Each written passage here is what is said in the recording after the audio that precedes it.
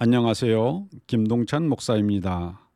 오늘 함께 묵상하실 제목은 내 앞에 놓인 믿음의 경주를 경주하며 아마존 횡단자 에드워드 스페포드입니다.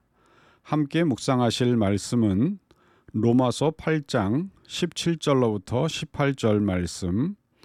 자녀이면 또한 상속자 곧 하나님의 상속자요 그리스도와 함께한 상속자니 우리가 그와 함께 영광을 받기 위하여 고난도 함께 받아야 할 것이니라. 생각하건대 현재의 고난은 장차 우리에게 나타날 영광과 비교할 수 없도다. 아멘. 성도의 신앙생활은 경기로 치면 장거리 경주라고 볼 수 있습니다. 믿음의 길은 100m 달리기처럼 불과 10여 초 만에 승부를 결정짓는 것이 아닌 오랜 거리를 오랜 시간에 걸쳐 인내하며 버텨야 하는 장거리 경주와도 같습니다. 그래서 성경에서도 성도의 인생 사례를 가리켜 나그네와 같다고 말했습니다.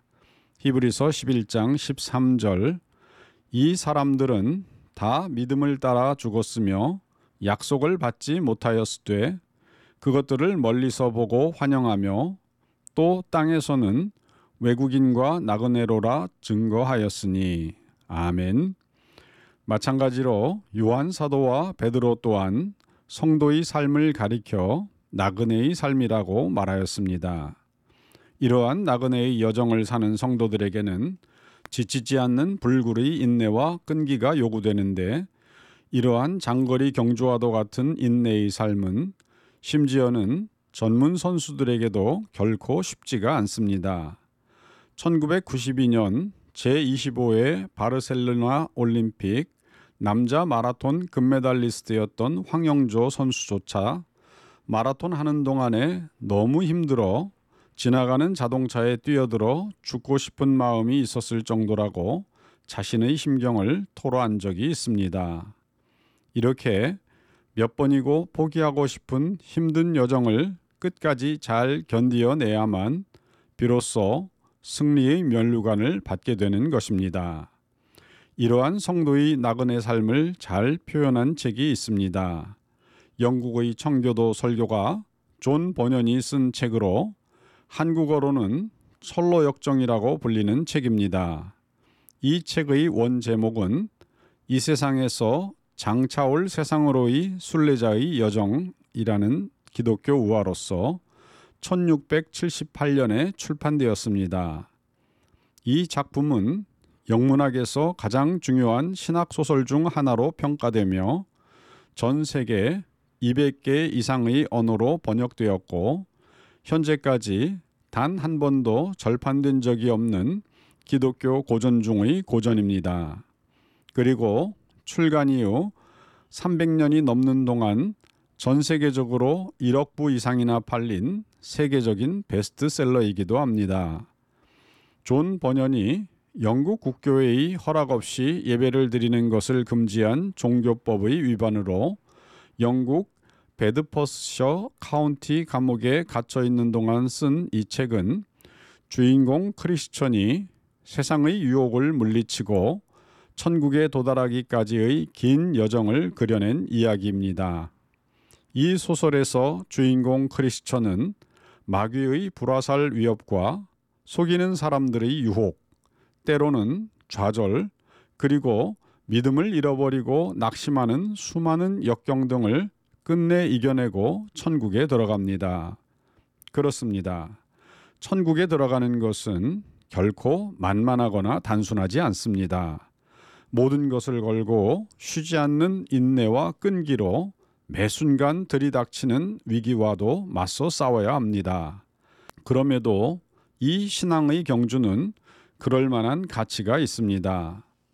왜냐하면 그 종착점은 영원한 생명의 나라인 천국이기 때문입니다.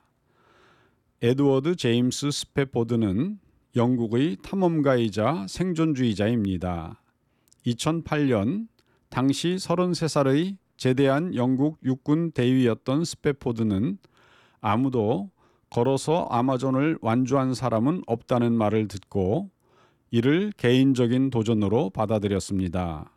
결국 스페포드는 2008년 4월 2일 페루 남부의 태평양 해변에서부터 트레킹을 시작하였습니다. 스페포드는 처음 출발할 때 자기 친구인 루크 콜리어와 함께 여행을 시작하였는데 콜리어는 불과 3개월 만에 포기하고 집으로 돌아가 버렸습니다. 그러자 스페포드는 31살의 페루 임업 노동자인 산체스 리베라를 가이드로 삼았고 이후 두 사람은 함께 여행을 계속했습니다.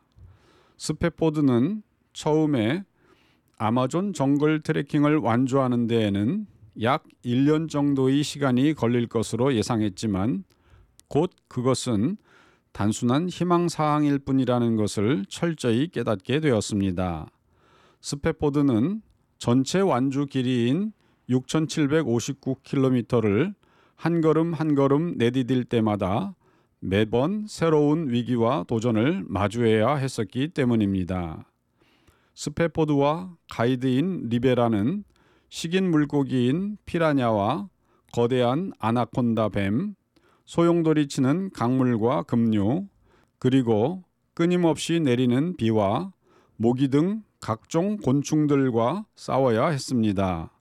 스페포드는 5.5m 길이의 카이만 악어의 공격을 피하기도 했고 여러 차례의 식량 부족 사태를 견뎌내야만 하기도 했습니다.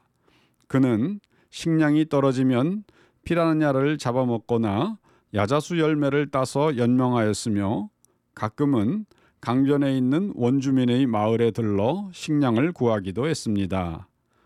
그런데 아마존 여행 중 가장 큰 위협은 오랫동안 백인들로부터 학대를 받아왔던 원주민들로 이들 마을 주민들은 종종 스페포드 일행에 대해 불신의 눈으로 바라보았으며 때로는 폭력까지도 행사하였습니다.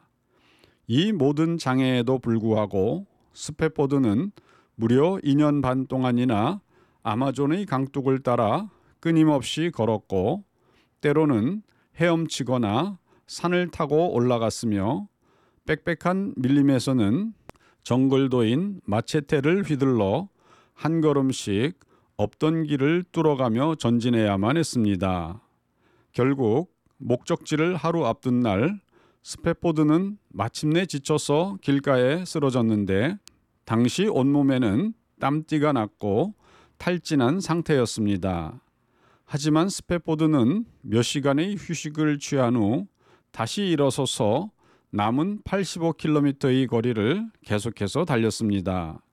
드디어 2010년 8월 9일 에드워드 스페포드는 브라질 북부의 크리스핌 해변의 대서양 물속으로 뛰어들었고 이로써 그는 태평양에서 대서양까지 아마존강 전 구간을 도보로 완주한 최초의 사람이 되었습니다.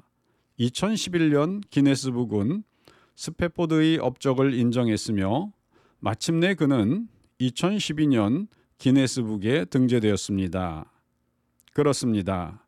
스페포드의 목숨을 건 처절한 아마존 여정의 사투는 우리 성도의 신앙의 여정과 비견할 수 있습니다.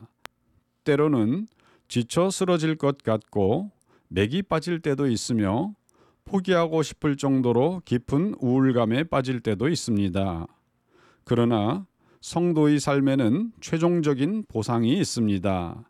그것은 우리 주님 예수께서 보장하신 천국의 면류관입니다.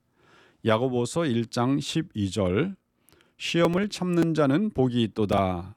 이것에 옳다 인정하심을 받은 후에 주께서 자기를 사랑하시는 자들에게 약속하신 생명의 면류관을 얻을 것임이니라. 아멘.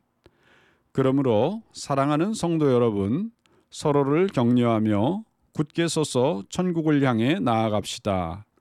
스스로 포기하지만 않는다면 우리는 항상 우리를 도우시는 예수 그리스도와 성령의 힘으로 끝내 승리할 수 있을 것입니다. 오늘도 천국 여정에서 하나님의 부르신 표대를 향해 힘차게 달려가시는 성도님 되시기를 축원드립니다. 아멘. 감사합니다.